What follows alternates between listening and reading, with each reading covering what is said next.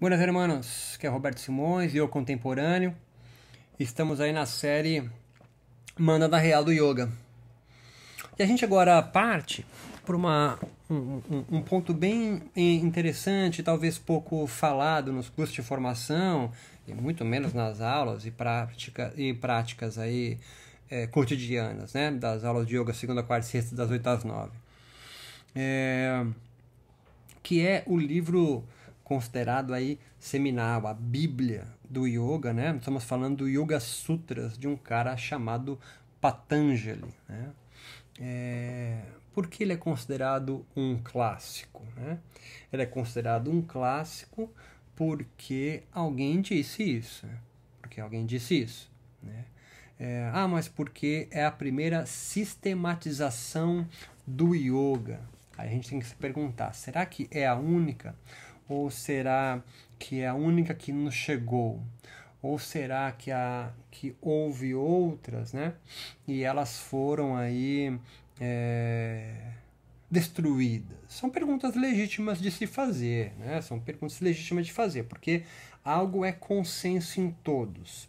Patanjali, esse sacerdote brahmane, portanto pertencente à alta casta social entre os indianos aí dos séculos que antecedem a chegada de outro, de outro Salvador que é Jesus Cristo, talvez século 8 aí, século 2, século 8, sei lá, antes de Cristo, Patanjali tenha escrito, ou a sua escola tenha escrito os Yoga Sutras, é um livro que é dividido em quatro capítulos. O primeiro capítulo vai explicar o que é o Samadhi, é uma experiência aí transitória de, é, de sagrada, alguns podem dizer, ou espiritual, né? É, um segundo capítulo vai explicar o caminho para o primeiro capítulo.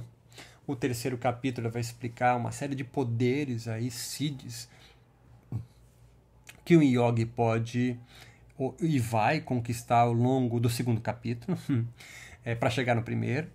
E o quarto capítulo é um capítulo interessante, muitos pensadores já, já entendem né, que é um capítulo escrito séculos depois dos três primeiros. Né? Então, é, é dado por escrito por Patanjali, mas é obviamente no Patanjali não foi que escreveu, né? Patanjali não, talvez não, não tivesse tido 300 anos, né? Depende. Se você assistiu a aula 1, é, você pode entender ele como revelado, aí pode ser Patanjali mesmo, ainda mais se você for na tradição é, espírita kardecista no Brasil. Então, o que a gente pode pensar é que uma escola no qual a gente tem o nome Patanjali escreveu esse livro que é a sistematização do yoga que nos chegou. Então, primeiro ponto, esse é muito claro. Já existia o yoga antes de Patanjali. Tá? Essa é a primeira conclusão óbvia que a gente pode chegar. É, e onde está a origem do yoga? Isso, meu amigo, ninguém vai te responder com certeza. Alguns mais convictos, né, mais convertidos a uma ideia romântica vão estar nas florestas da Índia, né? Tipo assim, a origem está na Amazônia, aquela coisa assim, né? Então é uma hipótese, né? E mesmo assim, quando a gente chama de floresta índia, a gente está falando do que, né? De, de da onde? O que a gente sabe, né? Outro fato é que sim, existiam e existem ainda, claro, em menor quantidade hoje, 2020, alguns clãs, algumas famílias, algumas coisas parecidas com tribos, pequenas sociedades que vivem é, longe das, dos, grandes, dos grandes conglomerados sociais, de grandes cidades. Né? Você vai encontrar, sim.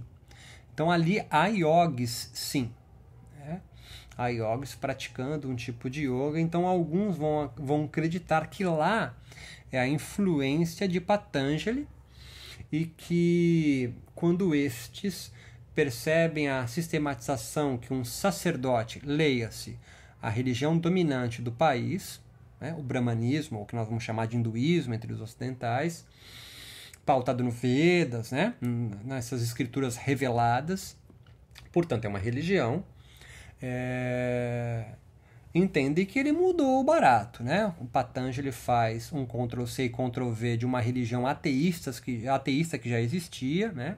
Chamado Sankhya, e vai então transformar, vem comigo na ideia, estamos indo para o segundo patamar, vai transformar uma prática de vida, uma filosofia de vida, sei lá o nome que você queira dar para isso, marginal, né? Porque lá não tem, não tem os brahmanes, ou pelo menos pode ter, mas ele não está com a sua casta ali. São pessoas marginais, estão morando, é, entre aspas, na floresta. Né? A floresta representa né, algo que é fora da cidade, sacou? Então são pessoas marginais, que estão na periferia da cidade. A floresta representa isso. Que vai ser então ser sistematizado por um sacerdote brahmane é a mesma coisa que o padre Anchieta, tá certo?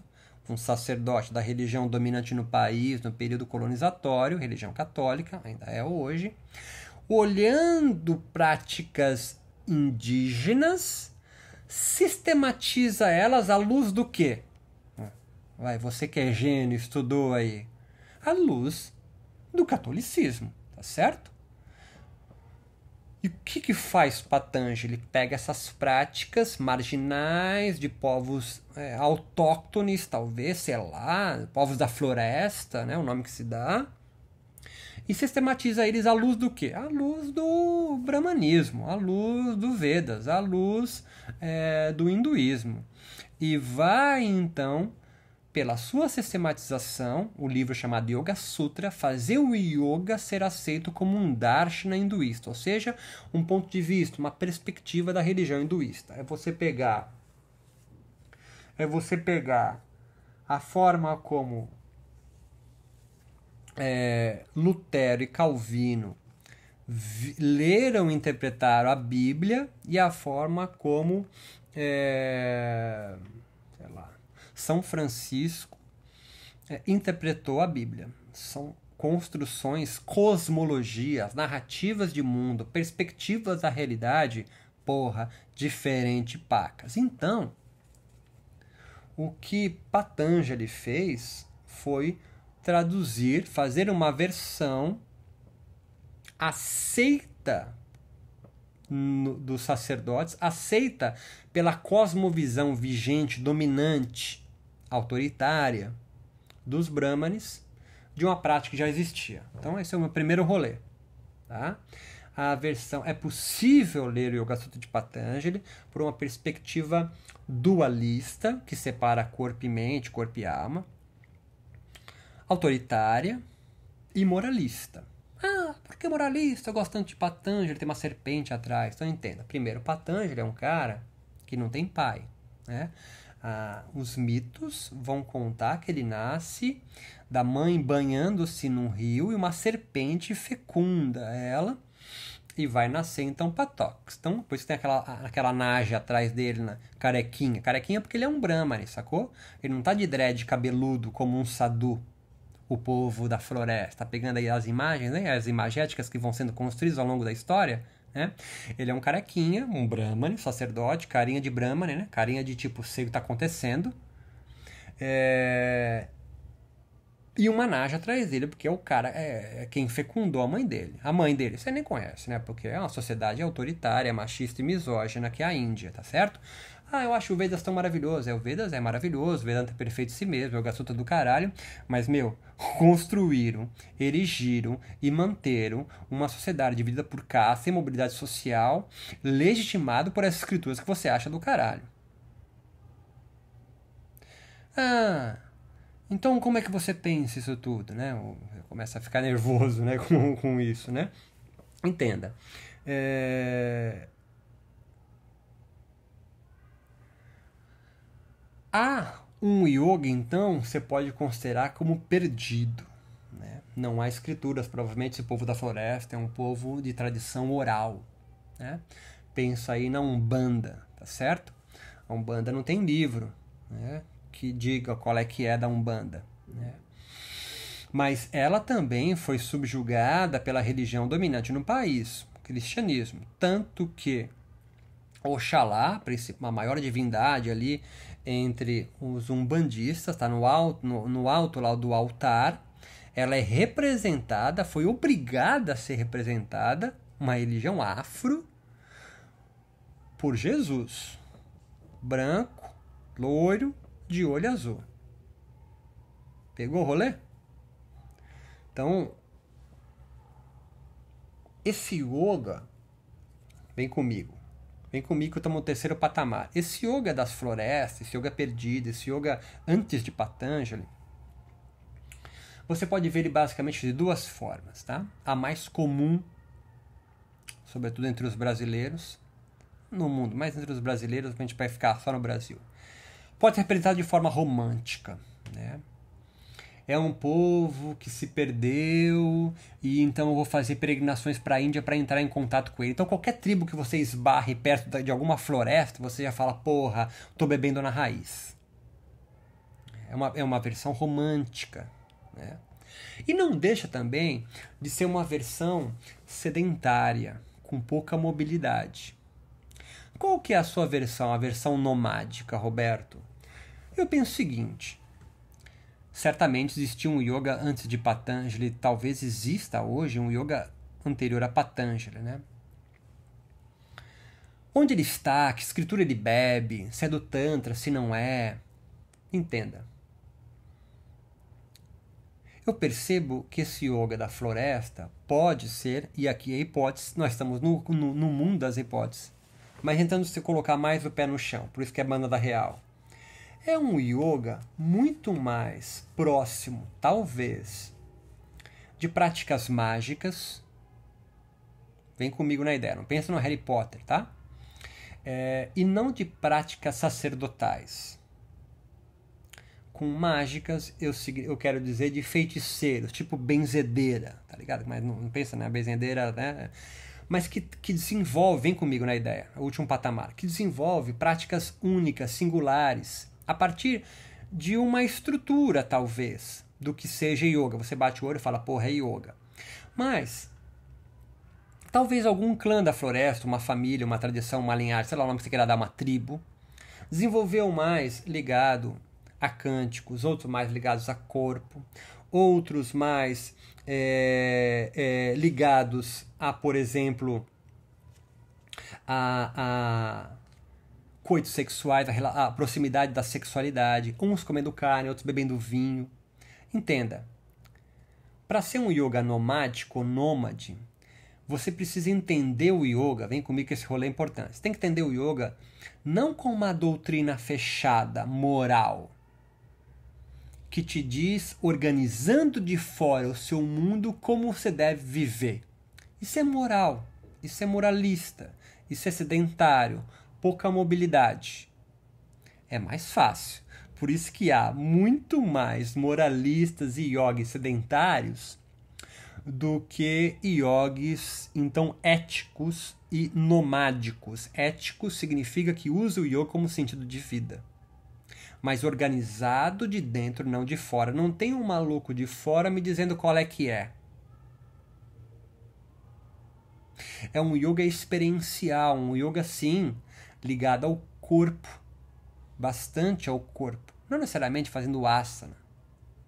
Mas o yoga nomádico, ele enxerga o yoga como uma caixa de ferramentas e não como um corpo doutrinário. Como caixa de ferramentas significa que tem asanas, tem pranayama, tem kriyas, tem mudras, tem mantras, tem é, destom, uma infinidade de coisas e que você vai construir com essas ferramentas a tua prática. Se você mora num clã, numa comunidade, essas práticas podem se consolidando e você então naquela comunidade vai, vai descobrindo a sua. Pensa novamente para a gente ficar um pouco mais claro nas tribos tupis e nas tribos indígenas brasileiras.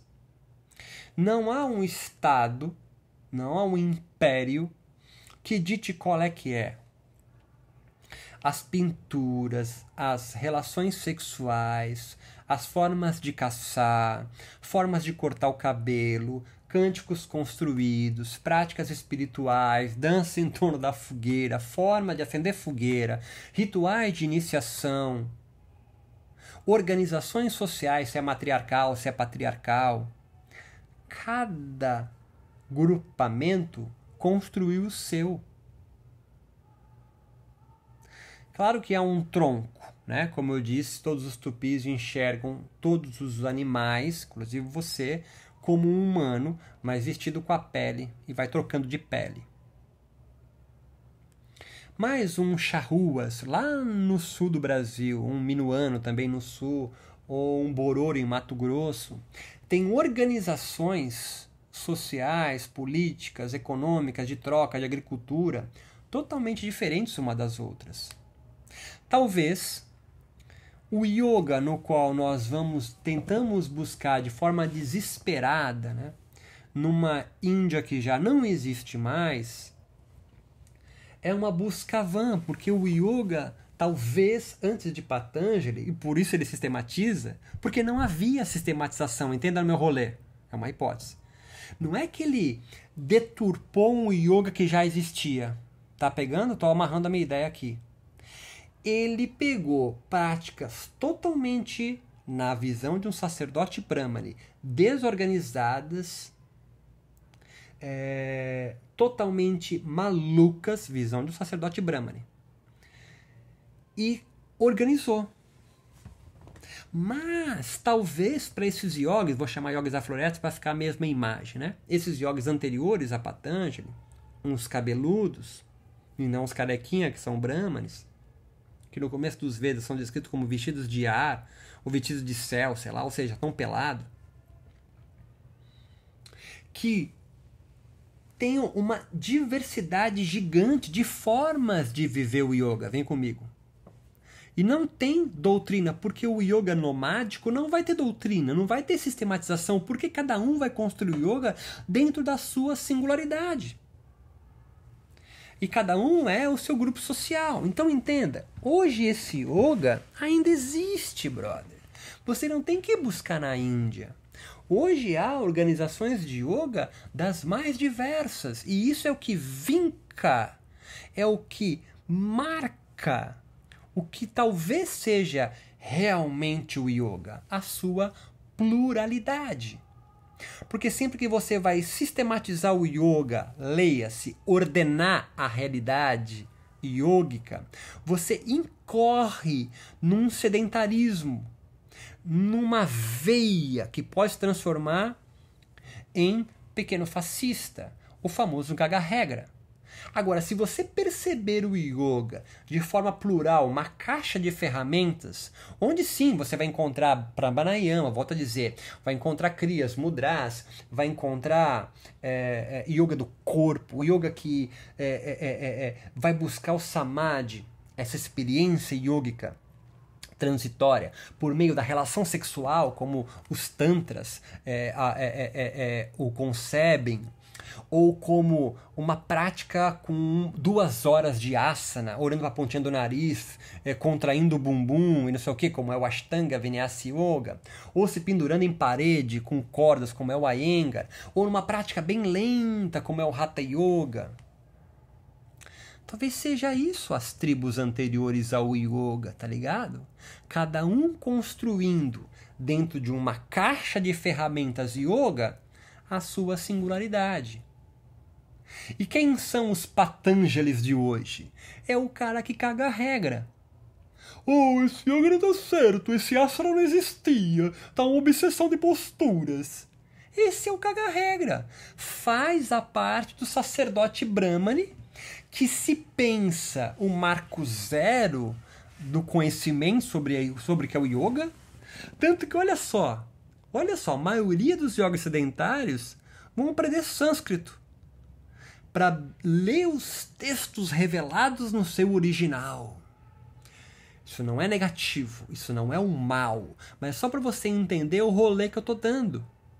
Tem que ler Sans, tem que aprender do caralho, aprenda, a underline treina, aprenda os textos é, é, é, do yoga, aí, considerados clássicos ou não, chás, blá blá. Sim, mas com vista a você olhar para dentro de si e organizar o seu yoga e não ser um replicante de yoga de alguém. Esse é um rolê mais difícil. Esse é um rolê mais de um corajoso. Por isso, apesar de todas as maluquices, idiosincrasias e viagens possíveis de serem criticadas, nós precisamos respeitar muito um Hermógenes, que põe a bola no peito, pisa nela no chão e fala assim, ó, o meu é yoga terapia.